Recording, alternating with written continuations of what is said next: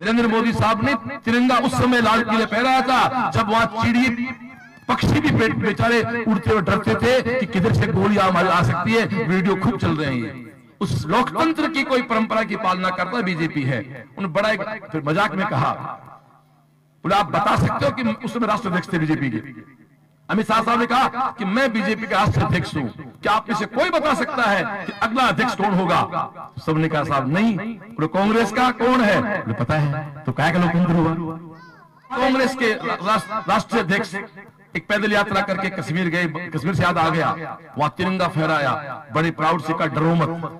अरे, बोले आदमी ए तो मोदी जी माहौल ठीक कर दियो, डरो मत तो ओ तिरंगो तो 2004 में तो है बड़े स्ट्रांग अब तो मोदी जी माहौल बना दियो लाल चौक में। नरेंद्र मोदी शेर है, इसका प्रमाण इसलिए प्रधानमंत्री है। नरेंद्र मोदी साहब ने तिरंगा उस समय लाल किले फहराया था, जब वहाँ चिड़ी पक्षी भी पेट बेचारे उड़ते हुए डरते थे कि किधर से हमारी आ सकती है। वीडियो खूब चल रहे हैं। उस पार्टी का मैं एक अदना सा सेना सैनिक हूँ।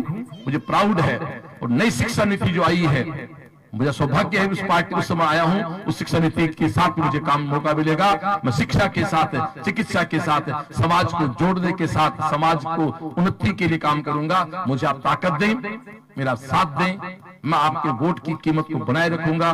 माँ शारदे से बालक दुर्गा से प्रार्थना है कि मैं मानसिक रूप से और शारीरिक रूप से स्वस्थ हमेशा रहूँ कि मेरे अपनों को मेरे कारण नज़र ना झुकाने पड़े कि किन वोट दियो रे वोट धूल में गयो मेरा एक ही मकसद है, मेरे जीवन का टारगेट एक ही है। मेरे अपने मुझसे खुश रहे तो मैं सबसे बड़ा उसको मेरा बैक बैलेंस मानता हूँ। युवा पीढ़ी जो है, उनको एक बात और कहना चाहूँ। जो भी सोशल मीडिया चलाते हैं, एक बहुत अच्छा गाना है, अब के बरस तुझे धरती की रानी कर देंगे।